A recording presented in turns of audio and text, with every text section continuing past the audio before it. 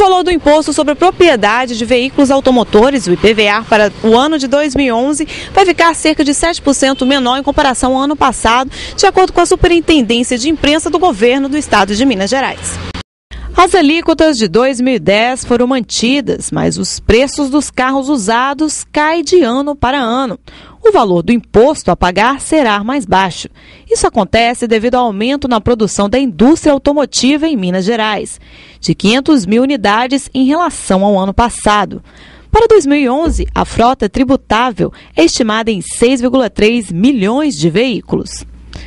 O gerente da Receita Estadual, Lauro de Castro Júnior, esclarece onde os condutores podem efetuar o pagamento do IPVA. O pagamento do IPVA pode ser feito nas agências bancárias dos bancos credenciados, na NUC, por exemplo, Banco Brasil, Bradesco, Itaú, Bancob, né? E, e, e, e respeita aí a finalização das placas.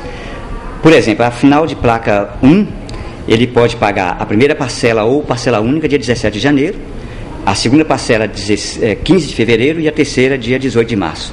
Assim sucessivamente até a, a placa de final zero, que vai pagar a primeira parcela ou parcela única 28 de, fevereiro, de janeiro, a segunda 28 de fevereiro e a terceira dia 30 de março. Conforme o final da placa do veículo, há um prazo específico para os condutores pagarem o imposto. Pagando dentro do prazo, adquire-se um desconto de 3%. Fora dele, é necessário pagar multas. Desde 2004, o IPVA é calculado aplicando-se sob a base de cálculo ah, nas seguintes alíquotas. Né? São 4% para automóveis, veículo de uso misto e utilitários, 3% para caminhonetes de carga, as picapes né, e furgão, 2% automóveis, veículo de uso misto e utilitário com autorização para transporte público, os táxis, né, é, carros escolares e tais, 2% motocicletas e similares, 1% veículo de locadora, quando for pessoa jurídica, e 1% para ônibus, micro-ônibus, caminhão e caminhão-trator. Mas é, a forma de cálculo disso aí é feita com base no preço total do veículo, quando é o carro novo, quando a pessoa adquire o veículo, aplica-se 4% no veículo, eh, no automóvel, por exemplo, 4% sobre a nota fiscal. Quando o veículo é usado, aí a, é feito através do preço médio, que é praticado no mercado. Né? É, nesse caso, é utilizado pela FIP, que é a Fundação do Instituto de Pesquisas Econômicas e com supervisão dos técnicos da CEF. Então é, a gente encontra aí a base de cálculo do veículo, aplica aquelas alíquotas que eu já falei e a gente chega ao resultado, ao valor. Os contribuintes podem se dirigir aos locais credenciados para pagar a tarifa. De acordo com o gerente, é preciso apresentar o número do Registro Nacional de Veículos Automotores, o Renavan.